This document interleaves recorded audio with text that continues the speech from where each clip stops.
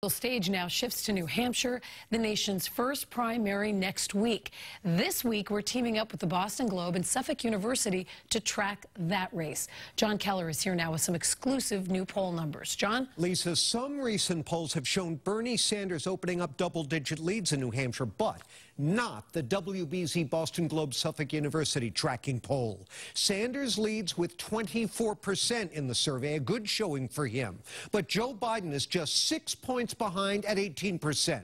Elizabeth Warren has 13%, followed closely by Pete Buttigieg with 11. No other candidate came close to double digits in the survey, which has a margin of error of plus or minus 4.4%.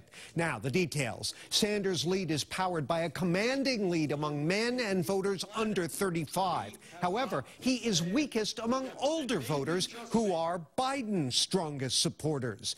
Biden and Sanders are tied among Democrats, with Sanders building his lead on backing from 30% of independents. And Warren has her work cut out for her. She trails Sanders among men by more than two to one, but surprisingly trails him and Biden among female voters and is tied with Buttigieg. There.